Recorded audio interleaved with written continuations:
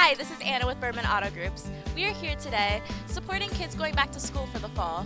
This is Berman's second year being a part of this event, and we are handing out backpacks along with other organizations that are handing out school supplies and other health related services. None of this would be possible without our senator who has done this for the past 15 years. It's a way of just giving something back to the community because we know how expensive things are, how expensive you know, the city of Chicago has become when it comes to, you know, the fees and taxes that are going on. So to me, this is important that they come here, get free services, and know that every year this keeps getting bigger and bigger. What is your favorite part about this event?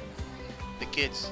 The kids. I mean, something so simple, just collectively working together, and you see when the kids are here in line, putting the smiles on their faces, whether it's school supplies, fruits, uh, a simple ID, it, it's just great when every time you can put a smile on their face.